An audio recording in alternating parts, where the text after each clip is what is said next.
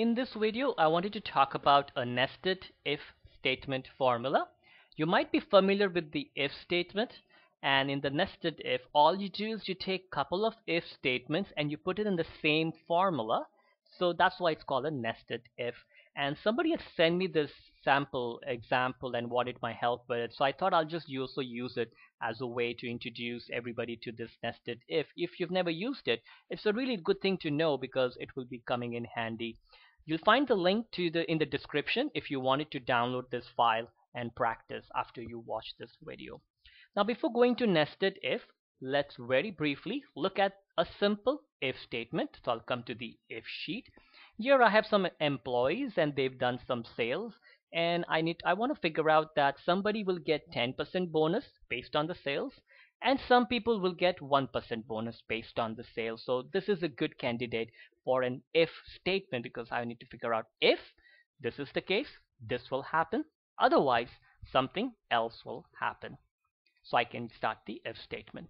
So to start if, you usually go into the formulas tab and then logical and then start if or you can go into the fx click it and then search for the if statement so let's start if and the if has three parts to it. One is the logical test and you will always get the explanation there on the bottom if you needed help.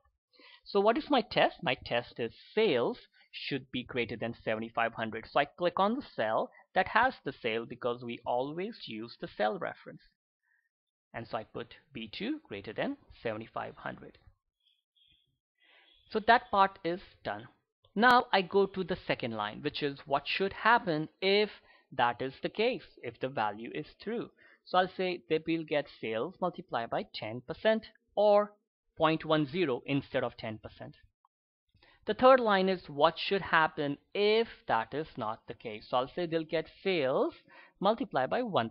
So I just want to give them a 1% bonus or 0.01. And I click OK.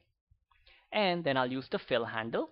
So it will apply all the formulas to all of those rows. And for some reason that's getting stuck on the top. So I'll just change the sheet. So there it is. So the people who did more than 7500 get 10% bonus and less than 7500 get 1% bonus. And if you look in the formula bar, you can see that the if statement has three parts. So I can even do it manually like this. So equal to if sales greater than 7500, comma, this is my first part. My second part is what should happen if that is the case. So I'll say it will be sales B2 multiplied by 10%, comma, and then what should happen if that is not the case, which is B2 multiplied by 0.01. And so that, that's the way you can do that. So this is our if statement. So let's come to the nested if. So in this example, um, I have some employees who have a basic salary and they have some overtime hours. So based on the basic salary and the overtime hours, we need to figure out the overtime total. So if you look there on the bottom, they have this criteria. Now this is something that this company or individual needed for this exercise, but it could be anything. And so the first criteria is if the salary is less than 2000, what will happen? That is, and then even in that, they have two parts. One is for overtime over 60 hours. They will get basic salary divided by 240 multiplied by 1.5 times 60. So this is the first 60 hours. And the hours over 60, they will get basic salary divided by 240 multiplied by 1 multiplied by the difference in the hours. So overtime hours minus the 60. And if the overtime hours are less than 60 hours, they will get the basic salary divided by 240 multiplied by 1.5 multiplied by 40. So that's their criteria. And if the salary is greater than or equal to 2000 they will get this basic salary divided by 240 multiplied by 1 multiplied by overtime hours. So so there are a couple of if ideas going in here and that's why we need to use nested if so I'll come to the overtime total formula there and we'll start the if statement you could do this manually however initially it's better to do it with the if box there. So formulas, logical, and then if. So here, what is my logical test? My logical test is basic salary. So I click on the cell which has the basic salary. Less than, so I'll put the less than symbol 2000. So this is my initial logical test. And I go to the next line which is value if true. So what is supposed to happen here? What is supposed to happen is there is a condition here that if it, the overtime hours are greater than 60, one thing will happen, otherwise something else. So here, in this line itself, I'll have to put an if statement here. So I'll start if bracket overtime hour, so the cell, which is G3, is greater than 60, comma. This is my logical test for the this line. And if that is the case, what will happen? They will get basic salary divided by 240 multiplied by 1.5 times 60. So I start basic salary divided by 240 multiplied by 1.5 times 60. So this part is done. However, if you look below that line, I need to add the hours over 60. For that, they have a different criteria.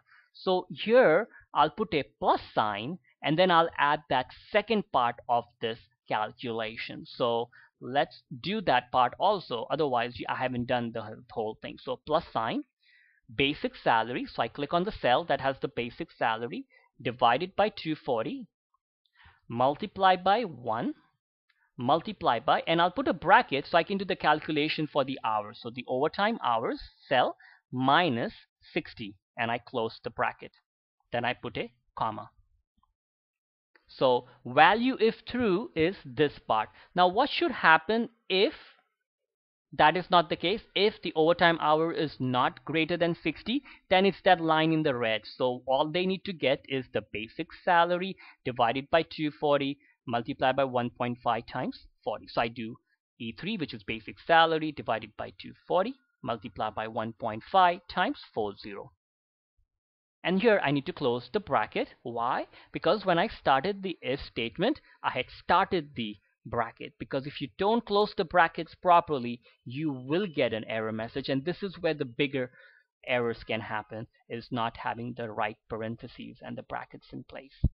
So this line is done. Now the last part is I need to figure out. I could just put it just like that. However, I'll use an if statement even in here where it's basic salary if it is greater than 2000, what is supposed to happen?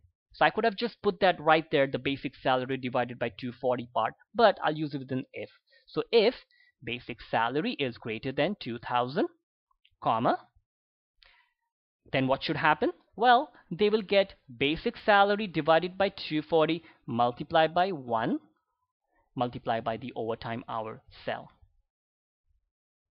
And I'll just close the bracket. I don't need to do the value if false, the third part. So, but you could if you needed it. And then, so that this line is also done, I can click OK. And I use the fill handle. So there is my answer. And you can see the last part I've got false, which is good, so I can explain to you why. Because the basic salary is 2000 and I forgot to put greater than and equal to in that formula. So I'll go back to the original formula and then I'll click there and I'll add the equal sign and I hit enter or the check mark and now use the fill handle. So now the answers will be right. So this is a nice little introduction to nested if and you can see that whole little line out there in the formula bar and it looks really complicated. But once you understand it you'll be able to figure it out. And you might find it easy to solve nested if statement in small little chunks and then see and go forward as you know that this part is working. And if you need help going to the help function type nested if or do a search on the internet for nested if and you'll find a lot of examples there.